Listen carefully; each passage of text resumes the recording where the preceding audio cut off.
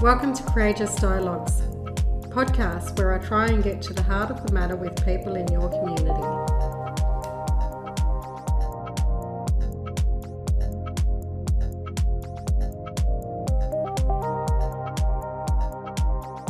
In this episode of Courageous Dialogues, I speak with Lisa Sisson. She is the founder of Unearth and has been listed as one of the top 20 Australian women making moves in 2022 in the Australian Business Journal. Thanks, Lisa, for coming on to Courageous Dialogues.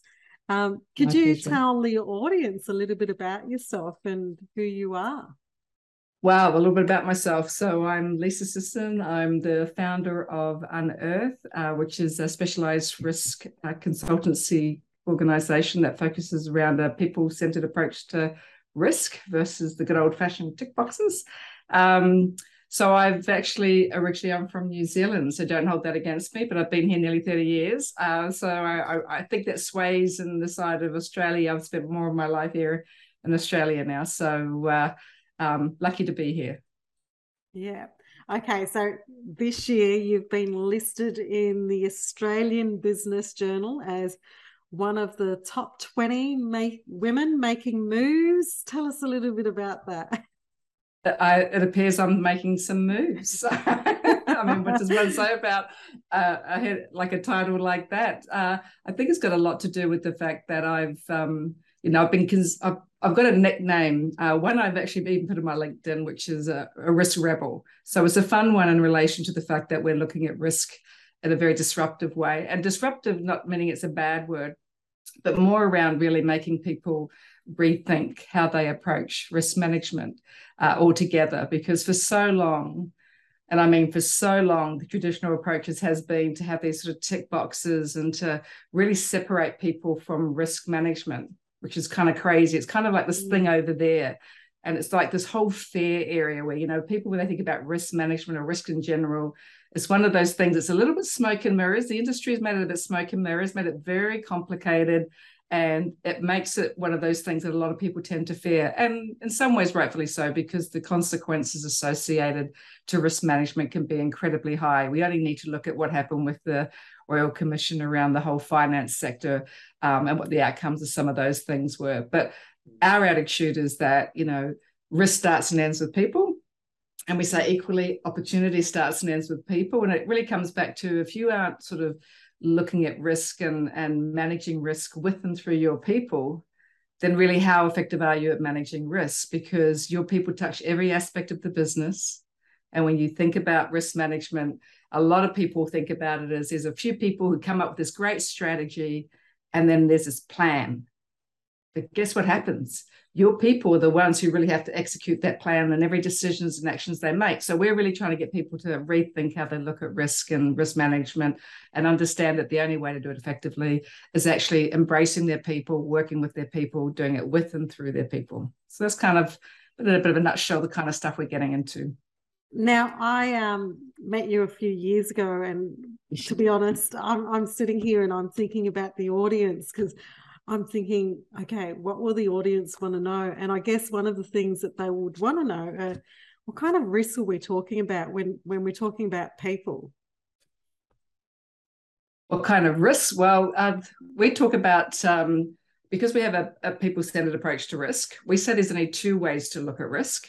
That's risk to a person or risk by a person.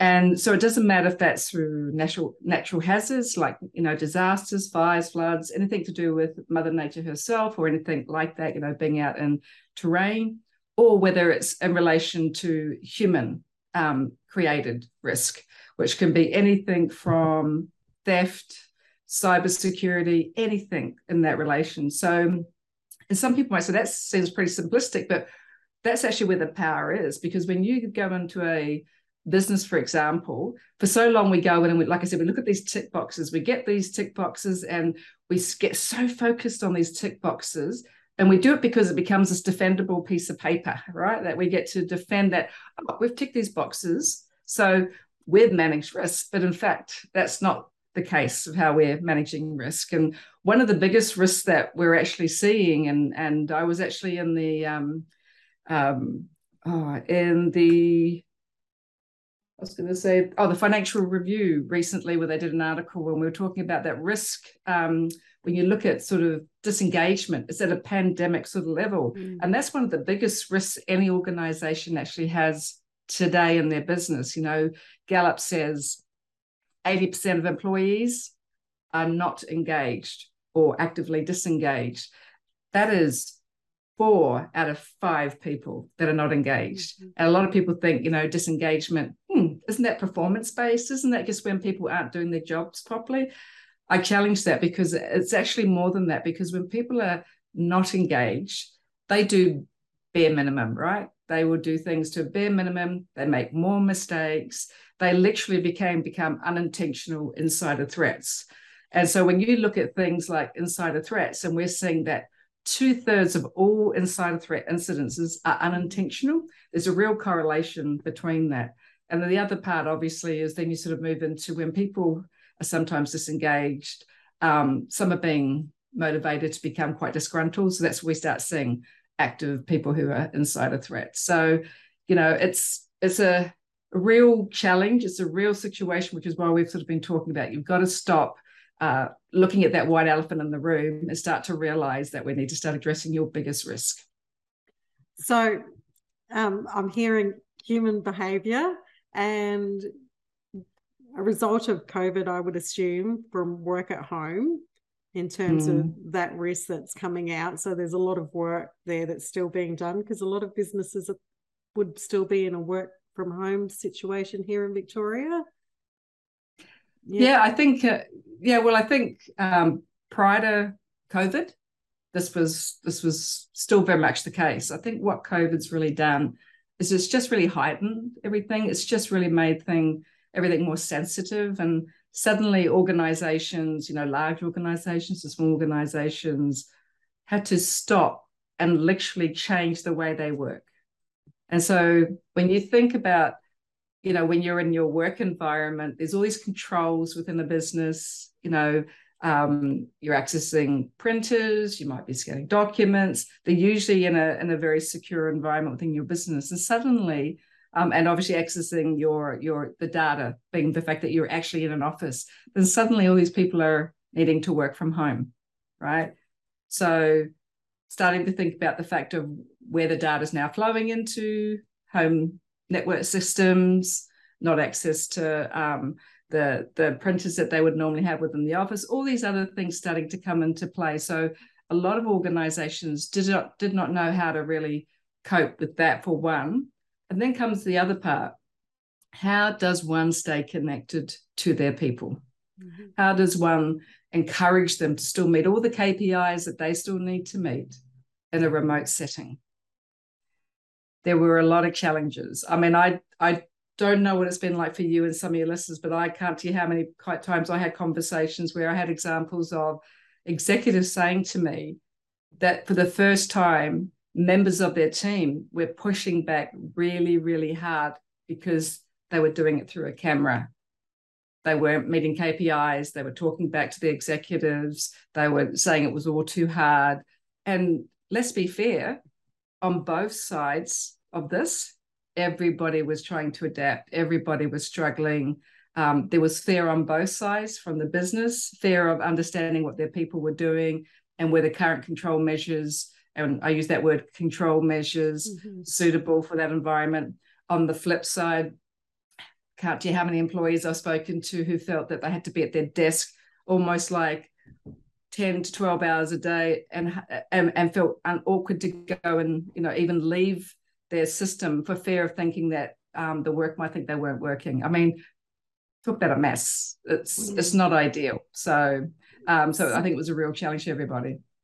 So last time, I'm not sure if you're aware, but last time I met you, I was actually working in government. So that's how I came across your work. Um, and you were starting out. I'm actually a teacher now in a school. So I stepped into a school just as COVID hit. So we had sort of security issues, you know, in terms of cameras on, students, you know, working from bedrooms. So it was sort of a different type of issues. But I remember you were starting up your business. Would it no, I've been in business. No. So we've been in business nine years now. Um, yeah. So ten years early next year. So we've been we've been focused with a lot of large enterprise. In fact, the last time we caught up, we were about to do some work with a very large corporate down in Victoria, which we did do and finished that first stage just before mm. COVID hit, and then it all went went yeah. very a lot more difficult after that.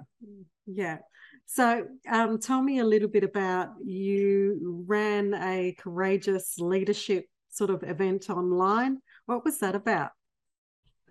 So, I think both in the government sector, um, the public sector, and the private sector, you know, one of the things myself and, and other people that I work with, we have a, a, partnership ecosystem that I work with some really amazing people from all around the world, internationally and locally. And one of the things that we we have been seeing um, and hearing a lot is challenges within leadership.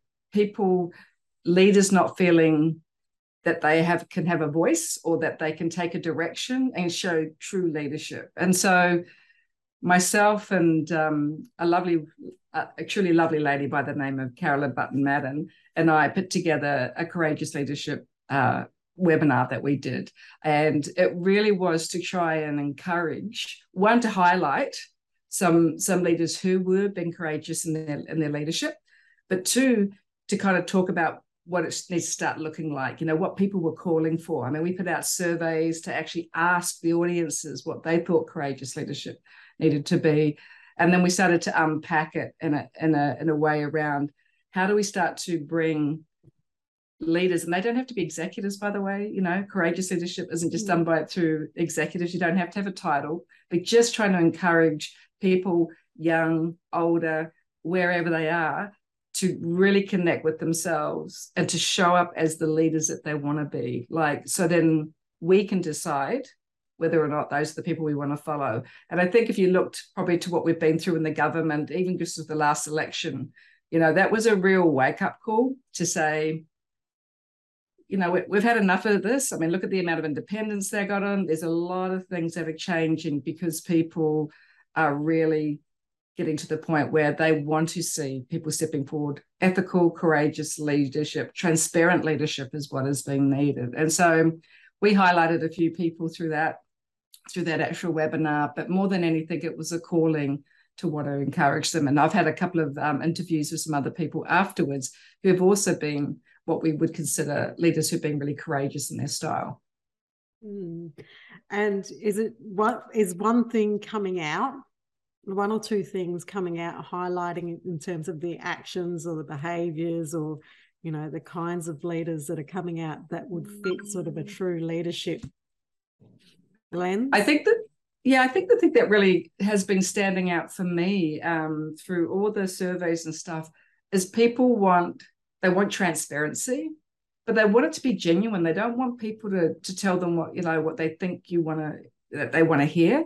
They want the right people to show up as who they are and and speak with with a voice that is really something that connects them to their passion, their purpose, and what they're about. And I think has been lacking in so many areas. I think the connection to people uh, within government has been really challenging. I mean, we've got a few politicians that I you know, you've started to see stand out in different areas. But there has just been almost like this separation that's happening when, especially through COVID, you know, we need connection as human beings. We need connection and we need to be inspired and we need hope because one of the things we've seen all around the world um, through COVID was the challenges for us to see a future. What a future look like beyond COVID? What a future look like and our new working conditions because we can't go back. There is no going back. There is only going forward. And I would often say, why would you want to go back? Because there were a lot of unhappy people who were in an environment and COVID woke a lot of people up. You know, you've heard about the great resignation and, mm.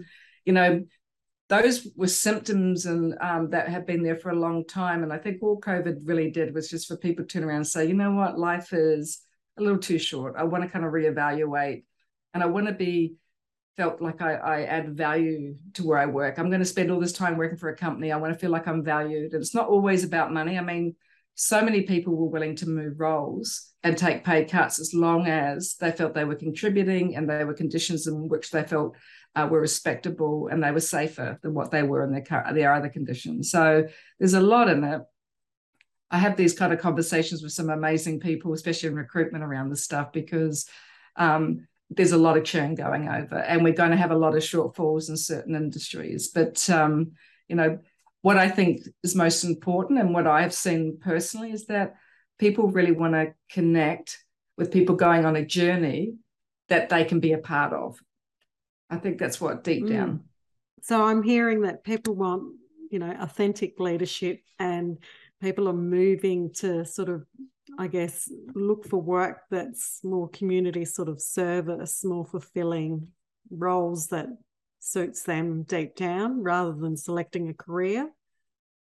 Um, I think you can still have a career, but it just depends oh. on if they yeah. So yeah, that, that job. I should have said a job, not a career. Yeah. so rather than just yeah, okay. Um, I just I think it's got to be that connection for them, right? I think it's really important that um, I mean, like you, you've you've made a move. You just said you've moved out of government into education. Yeah, this is just, so, just before COVID hit, though.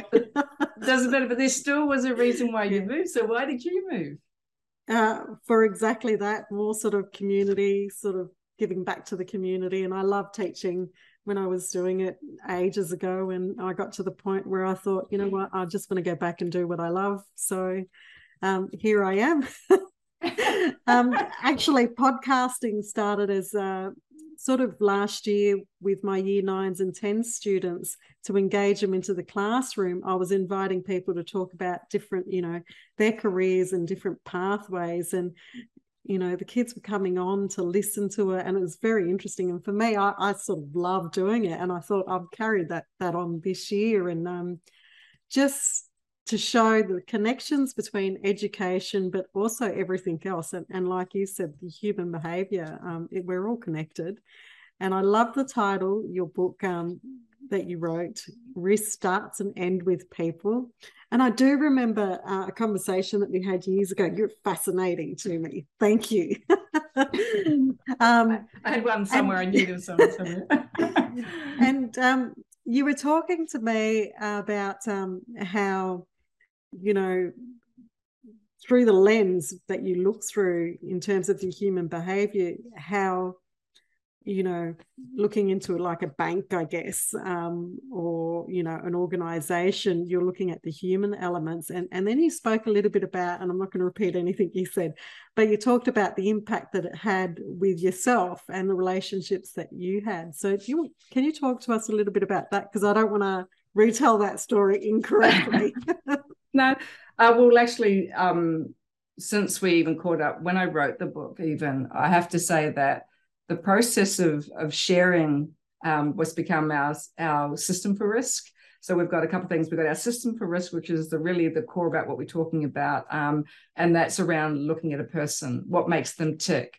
It's and we refer to it sometimes as the risk cocktail and all these sorts of things. But it's really understanding a person, their predisposition, uh, which is all your values, your beliefs, your whole life journey, you know, um, and then going into the area of then looking at uh, stresses because you know as a, our predisposition we're also different even if we were twins our, our life's journey is slightly different so no two people are the same but also then looking at stresses and how that affects people differently our little stress bucket that we have you know um, I think it's Beyond Blue has refers to the stress bucket as well, which I really, really love. But they're different sizes. We all hold different capacities, and depending on how full they get, they'll affect us differently. And then we talk about areas of understanding people's triggers because they're unique as the individual themselves. And then we started to look at things like onset when people's behavior starts to change. So if something has triggered them, it can cause a change in behavior depending on what it is. And that's one of the things we look at, especially because you know, I've done a fair bit of work around insider threat. And so really understanding how often people come in to an organization you know enthusiastic to want to you know you start a new job mm. want to be a part of something so how do people start off being that enthusiastic then going on a journey to the point where they're willing to do harm to the organization and almost quite often self-harm as well as a result of it. So what in that in that sort of transition that journey how did they get there? And so it's always been quite of an interest to me but the other side of it is that you know when you go through this sort of process and i was really lucky, lucky one of the people on my team is a psychologist and so when we were unpacking a lot of this stuff and she's also got a background around insider threat it actually can be quite confronting when you start to really peel back layers but it's also very useful so the, the, the whole framework we had as we went through and we described you know um, just a, a range of aspects around your predisposition or the rest of it what we found interesting is it did not matter what situation I would go into personally or professionally, you'd start using this model. Like you'd start going through, and it's not to overanalyze someone, but if anything, it's to help to understand what you're seeing. Um, and there's been many examples where I've gone in and witnessed certain kinds of behavior. Uh, especially when because you know I work in a in a space that's not a comfortable space to talk mm. about, mm. you know, and so we try and make sure we create a safe what we call a safe zone, safe environment, so we can put things on the table without people feeling like they're being judged. It's better to go on the table so we can understand, see it, and then we got things we can work with. Um, that can also be around people's behavioral style. And I'll give you a, a more recent example of, of I went into a situation recently where we were talking to someone around the public safety work that we're doing. It's around stuff we're doing in um, what we call um, putting recovery first, planning under blue skies. So it's very much in that public safety sector. And because it's been a, a new area for us that we've been focusing on, um, we've been out having a bit of a chat about it. But we came across myself and and um, Ian, who I, I work with, we went into a particular meeting where we were sharing the insights around our work.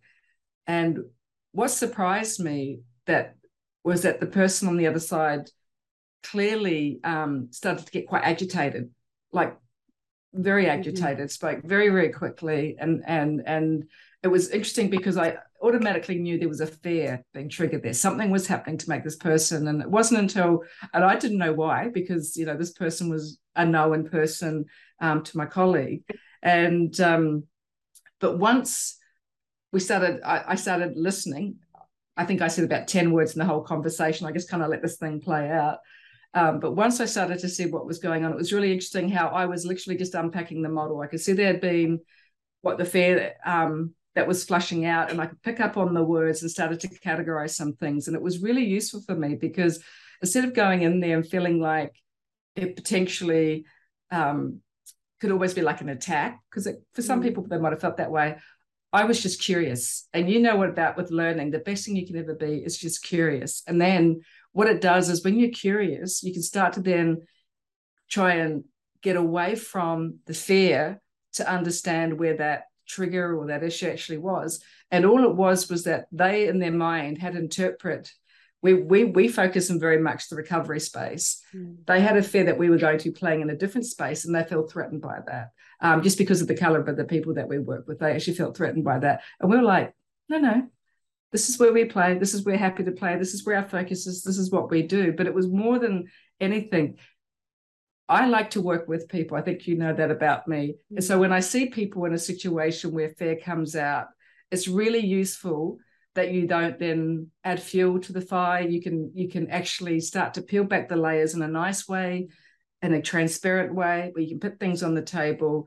And if anything else what I often say is defuse a situation, then encourage it to escalate. Because often, when if you get one person who's kind of feeling a little bit threatened, then usually the other person armors up, right? They start to armor up, and suddenly this debate happens. Whereas, you know, our whole point around what we're doing is that the best thing you can do when you see something escalate is realize that someone's in pain. Why have they come to you and and suddenly spoken to you in a way um, and sometimes it's really hard to catch yourself because sometimes it feels like an attack so how do you do that so that's been one of the benefits out of it but you know it's you've got to challenge yourself too because you've also got to be self-aware as well as situationally aware and sometimes you have to be aware when you get triggered mm. if something happens to you, like uh, the fires happened to me a couple of years back. We had the big fires. I was being very triggered by some of the events that were happening, and you know, catching myself to be very aware that that was happening was um, quite tough. So mm. there's two ways of doing it. All right. Did I answer your question? Yes, you did. Yes, you did. I want to ask so many more questions. But I, the one question I do want to ask you is because this is courageous dialogues. Mm. What's um, a time that you've been really courageous? Wow. I feel like I kind of edge into that a, a lot regularly. I think one of the things that I said to my team, because um, I've always been someone who tends to just get on with the job. I've never been one about self promotion and those sorts of things. That's always been very difficult for me.